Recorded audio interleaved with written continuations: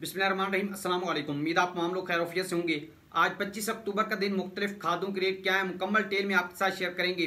जहाँ पे हम देख रहे हैं तो खादों के रेट दिन ब दिन बढ़ते जा रहे हैं। अच्छा कुछ लोग यहाँ पे मैं देख रहा होता हूँ, काफ़ी सारे व्यूवर्स होते हैं जो हर टाइम जो गालियाँ दे रहे होते हैं और कह रहे होते हैं, आप तो जो है वो हर टाइम इस हकूमत के खिलाफ ही बोलते रहते हैं। ऐसे नहीं है, ऐसे नहीं है तो भाई हमारा मकसद हरगिज़ ये नहीं है। मैं आपको एक चीज़ यहाँ पे बताता हूँ, जहाँ पे देखें कि किसानों से इन्होंने गंदम जो है वो चौबीस पच्चीस सौ रुपए में खरीदी। और फिर अब जो है वो मुख्त मंडियों मार्केट फ्लोर मिल्स में रेट्स जो है वो बढ़ते हुए नज़र आ रहे हैं। तो किसानों पर जुल्म ही इतना होता है।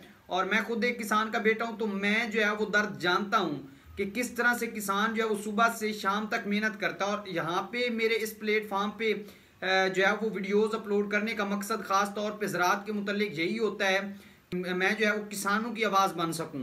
आप अंदाज़ा लगाएँ कि गवर्नमेंट की वेबसाइट पे ये डिटेल्स शेयर की गई कि जो एक किसान गंदम काश्त करता है तो उसका ओवरऑल जो खर्चा है वो चार हज़ार एक सौ रुपए फ़ी मान है।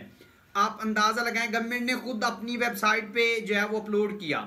तो फिर जो किसानों को, अब किसानों से इन्होंने गंदम खरीदी वो पच्चीस, छब्बीस सौ में और जो छब्बीस सौ सौ से ज़्यादा खरीद रहा था, उन पर मुकदमात भी दर्ज हुए।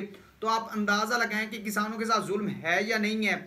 हमें हुकूमत से कोई फ़र्क नहीं है। यही लोग थे जब किसानों के लिए कुछ फ़ायदा सोच रहे थे तो हम लोग इनकी सपोर्ट कर रहे थे। किसान सारे इनकी सपोर्ट कर रहे थे और अक्सर आप जो बूढ़े लोग हैं ना, ज़्यादा एज वाले लोग हैं उनसे पूछेंगे तो वो कहेंगे कि ये लोग अच्छे थे, इन्होंने मुल्क का फ़ायदा सोचा। वो इस वजह से कि वो किसानों के लिए अच्छे थे, गंदम, कपास, मुंजी, इन तमाम के रेट्स जो है वो अच्छे थे।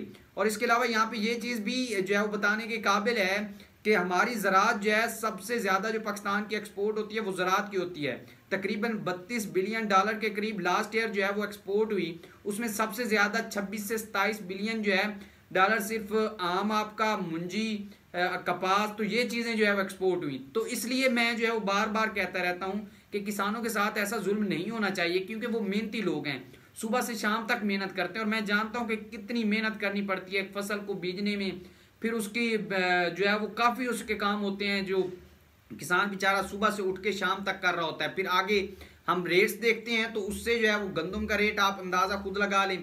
मुख्तलिफ़ खादों के रेट्स जब अब बारी आई किसान की गंदम बेचने की तो खादों के रेट्स बढ़ा दिए गए। हालाँकि चाहिए ये था कि अगर आप गंदम के रेट्स अच्छे नहीं दे सके, बल्कि गंदम तो इन्होंने खरीदी नहीं तो खादों के रेट थोड़े कम कर लें ताकि आगे किसान जो है वो गंदम काश्त करें, लेकिन नहीं। डीएपी सरसब्ज की बात करते हैं तो ग्यारह हज़ार से ग्यारह हज़ार पाँच सौ।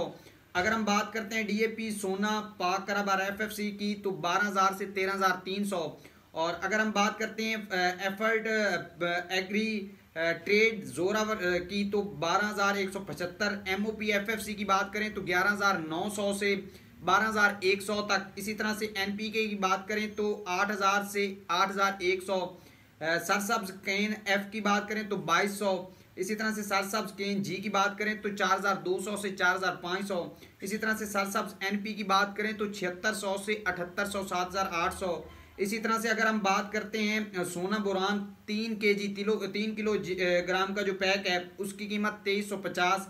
इसी तरह से सोना जिंक ग्रैनुलर की बात करें तो ये तीन के जी पैक दो दो हज़ार पाँच सौ पचास। इसी तरह से हम बात कर लेते हैं एस ओ पी ग्रैनुलर की तो इसके रेट्स बारह हज़ार पाँच सौ सत्तर।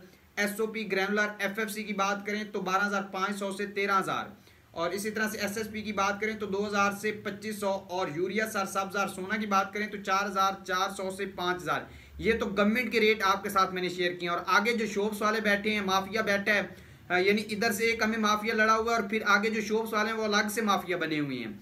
उनको कंट्रोल नहीं करना, किसानों के ऊपर मुकदमा दर्ज कराने, किसानों को जो पकड़ना है किसानों की गंदम ज़्यादा रेट में नहीं बिकने देनी। लेकिन इन माफियाज को नहीं पकड़ता। ये मैंने गवर्नमेंट के रेट शेयर किए हैं। और अगर आप शॉप पे जाएँगे तो शॉप पे दो चार सौ रुपए ज़्यादा।